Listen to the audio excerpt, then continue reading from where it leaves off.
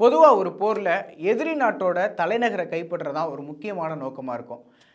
Russia Ukraine போர்லையுமே வந்து இதே தான் நிலமை. அதனால் என்ன பண்ணுவாங்க அப்படின்னா இந்த போரில் ஈடுபடுற நாடுகள்லாம் வந்து ஒரு பக்கம் சண்டை செய்கிற மாதிரி இன்னொரு பக்கம் தங்களோட தலைநகரை வந்து முழு பாதுகாப்பு கொடுத்துட்டே இருப்பாங்க. அதை எதிரி நாடு சின்ன அளவில் கூட நெருங்க முடியாத மாதிரி இருக்கும். ரஷ்யா உக்ரைன் போர்லையுமே இப்போ இதே சுச்சுவேஷன் தான் போயிட்டுருக்கு. ஆனால் உக்ரைன் தன்னோட தலைநகரை கீவை வந்து எவ்வளோ சேஃப்டியாக வந்து ரஷ்யாட்ட இருந்து பாதுகாத்துட்டு இருக்கோ அந்த அளவுக்கு ஈக்குவலாக இன்னொரு சிட்டியுமே வந்து ஆஹ், காப்பாற்றுறதுக்காக காப்பாத்துறதுக்காக படாத பாடுபடுது. அது என்ன சிட்டி ரஷ்யாட்ட இருந்து த தலைநகருக்கு ஈக்குவலாக அந்த சிட்டியை காப்பாத்துறதுக்காக உக்ரைன் இவ்வளோ படாத பாடுபடுறது ஏன்? உக்ரைனோட வெஸ்ட்டில் இருக்க அந்த சிட்டி பேர் பாக்முத். கூகுள் பண்ணி பார்த்தோம் அப்படின்னா மீட் கிரைண்டர் அப்படின்னு வரும். அதாவது இந்த ஊரில் அவ்வளோ பேர் வந்து இங்கே கொல்லப்பட்டிருக்காங்க. இப்போ கடந்த ஒரு வாரத்தில் கூட வந்து பார்த்தோம் அப்படின்னா ஆயிரத்தி ஐநூறு உக்ரைன் வீரர்கள் ரஷ்யாவால் கொல்லப்பட்டிருக்காங்க. இந்த போர் தொடங்குலேருந்து பார்த்தோம் அப்படின்னா இருபதாயிரம் வீரர்கள் வரை இந்த ஊரில் மட்டுமே இந்த சிட்டியில் மட்டுமே கொல்லப்பட்டிருக்காங்க அப்படிங்கிற ஒரு டேட்டாவும் வந்திருக்கு. இத்தனைக்கும் இந்த சிட்டி அவ்வளோ பெரிய பிரம்மாண்டமான சிட்டிலாம் இல்லை.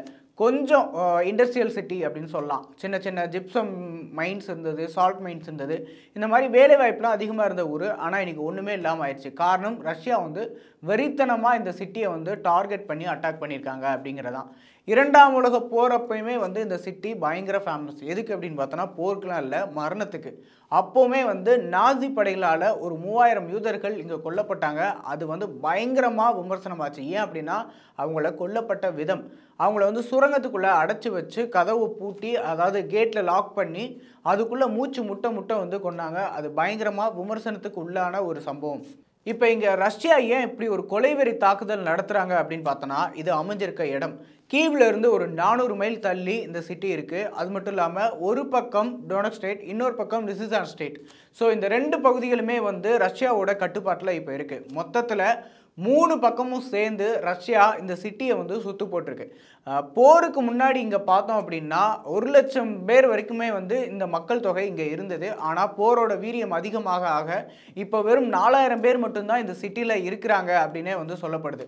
அதே நேரத்தில் இதுக்கு மேலேயும் ரஷ்யாவை ஒரு அடி உள்ளே விட்டோம் அப்படின்னா அது நல்லா இருக்காது அப்படின்னு சொல்லி உக்ரைன் நினைக்குது. ஏன் அப்படின்னா இதுக்கு மேலே ஒரு அடி ரஷ்ய படைகள் உள்ளே வந்தால் உக்ரைனோட நாட்டுக்குள்ளே வந்து வந்த கணக்காயிடும் அப்படின்னு சொல்லி உக்ரைன் ஈரோப் எல்லா நாடுகளுமே வந்து நினைக்கிறாங்க. ஏன் அப்படின்னா இவ்வளோ நாள் வந்து ரஷ்யா வந்து வெளியே இருந்து எல்லையிலேருந்து தான் வந்து அடிச்சிட்டு இருந்தாங்க. இதுக்கு மேலே வந்துச்சுன்னா சிட்டிக்குள்ளேயே வந்துருச்சு ஊருக்குள்ளேயே வந்துருச்சு அப்படிங்கிற ஒரு பிம்பம் வந்து ஏற்பட்டுரும் அப்படிங்கிற இதுவுமே வந்து பார்க்கப்படுது.